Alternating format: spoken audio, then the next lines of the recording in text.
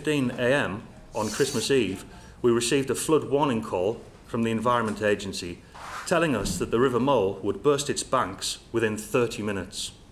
This was the first warning we had that the threat to the airport's operations was from severe flooding as well as high winds.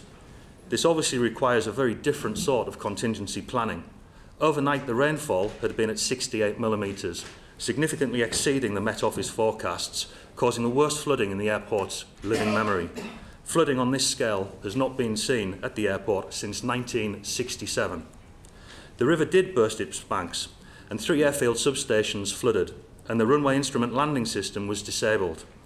The standby power generators were activated, and the airfield continued to operate.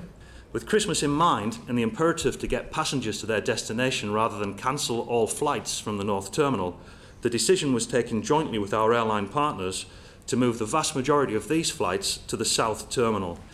This change of terminal is logistically very challenging at the best of times, and we will be reviewing with our airline partners whether we should ever attempt this complicated procedure again at, sh at such short notice and on such a scale.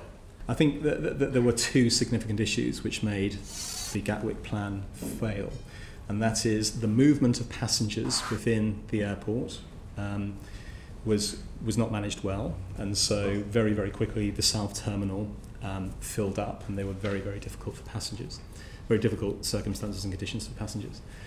But secondly, what we didn't know at 7.30 was that the amount of resource which was available to bus passengers back to North Terminal, where our planes were. So remember, we have 31 planes here, fully crewed, bags on them, ready to kind of get the passengers off. The busing resource, it became clear late in the afternoon, was simply not sufficient to transport that number of customers back to North Terminal, which is why all of a sudden South Terminal began to clog up. A very similar incident did happen on the 16th of October, uh, where, as a result of flooding, we were asked to transfer our south terminal operations to north terminal. Not, not the same thing as north to south, but, but essentially the same sort of activity. And uh, Gatwick handled that uh, reasonably well.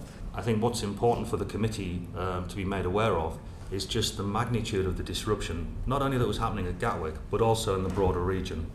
Uh, you know, the River Mole that flooded its bank uh, actually runs through a culvert underneath the runway. The River Mole is the river that disrupted uh, many people's electricity supply right the way down the Mole Valley. It actually runs through the Gatwick site. If you step back, some of the things we were contending with was also the loss of power out on the uh, airfield, the loss of the instrument landing system, the fact that the rail services weren't working to Brighton because of the disruption to rail, and then subsequently with the fire at East Croydon Station, the loss of rail services uh, up to Victoria, and in addition to that, the closure of the M23 due to flooding. I don't think we should lose sight of the fact that this was an enormous event that was much bigger than just the Gatwick site. We're very sorry for what happened on the Gatwick site on that day. We certainly tried our hardest, but this was an enormous event that was much bigger than Gatwick Airport. And I think we shouldn't oversimplify it to simply saying that this was an event just about trying to get passengers on buses from the South Terminal to the North Terminal.